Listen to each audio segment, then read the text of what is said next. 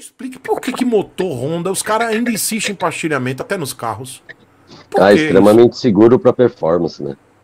É um sistema muito seguro para performance quando, quando a gente usa pastilha. Que ele não, não fica alterando folga de válvula, né? Mas depende do, do, do material usado, requer ah, mais vezes né, a visita na oficina. As grandes, para você ter uma ideia, as que são pastilhadas do mesmo jeito que a, que a XRE, tem- hoje estão com intervalo de, de as Kawasaki com 40 mil quilômetros de, de, de, de ajuste de válvulas. né? Então, quando você Entendi. entra nessas, nos produtos prêmios, a qualidade do produto muda geral. Eu até falo para meus alunos: se você me dá uma monocilíndrica, qualquer uma, né? Honda Yamaha, Bajaj, que seja, e uma de competição, uma CRF, uma KTM, uma YZF, é muito mais fácil de, de trabalhar nessas motos porque é, é tudo bem feito, tudo se encaixa, o material é bom, tudo funciona. Quando vai, vai, vai baixando a qualidade do, do, do material, para acompanhar o preço e aonde ela tem que se encaixar no mercado, automaticamente né, vai- quase que encaixa, quase que aperta, então começa a dar uns probleminhas de nascença. Então tudo Mas de cê- acordo com quanto vale o show, né? Mas você gosta de, de motores é, com válvulas, ajuste de válvula pastilhado?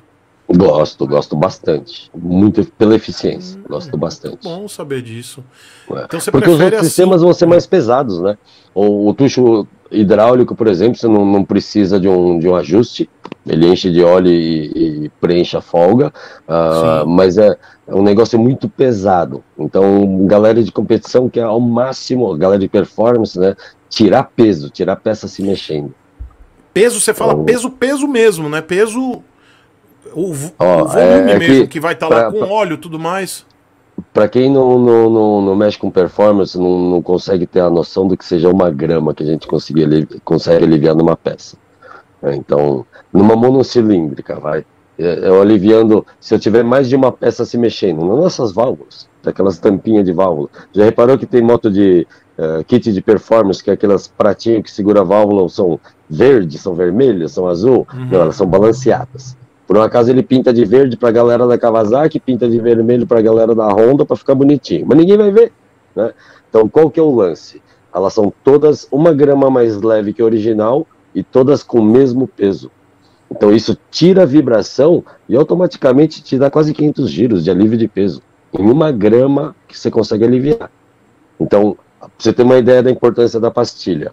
ah, O último projeto pastilha foi o Tucho, que é um copinho metálico, parece um copinho de, de pinga, assim, ó, metálico, com a pastilha dentro. O comando de válvulas fica acionando esse copinho que abre e fecha a nossa válvula. Esse é o sistema da XRE, por exemplo. né?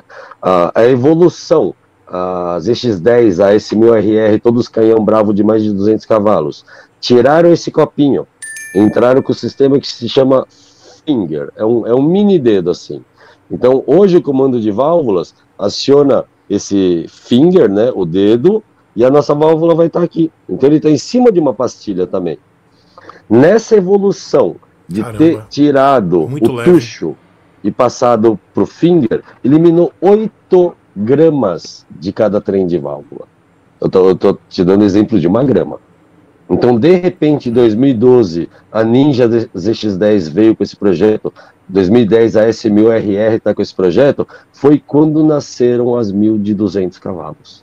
Até então não conseguia buscar 200 cavalos. De repente, por alívio de peso, nasceram mais de 200 cavalos nas motos. Então é, a- a- é, é essa, essa busca que a engenharia fica fazendo aí nos motores. Então, geralmente eles avançam na tecnologia e voltam. Esse projeto do Mini Finger é década de 70 nos Fórmula 1 da, da, da Honda. Então, um, um- algum cientista maluco conseguiu enxergar que ele mudando do, do- do alumínio que eles usavam para o titânio, vai ficar mais resistente, mais leve. Arrancou 8 gramas da brincadeira, mano. Virou uns canhão descontrolado agora. Mas, professor, a gente, a gente. ent- Tá, eu entendo que, eh, por um lado da performance, a- a- o pastilhamento é interessante para o ajuste de válvulas. Mas a gente entende que para motos de baixa cilindrada é mais uma, uma visão também de economia. Isso se torna mais econômico para fazer, para produzir ou não? Tá tudo certo. Não, tá mais Tucho caro. hidráulico. O Então, pastilhado buguei, é mais Tela caro. azul. Tô bugado. Então por que. É tem- porque a Honda faz isso, então? Por que, que eles fazem você ter uma isso? ideia, o, o motor que estava na Tornado antiga, né? O 250, que ele tem a mesma cara, virou da XRE. Se você olhar o motor da Tornado e da, da, da XRE por fora, ele é igualzinho, né? Parece que é, que é o mesmo projeto, o, o bichinho. Se você pegar o Tornado, por exemplo, é um cilindro de uma, uma CBR 1000. É a tecnologia que está na CBR 1000.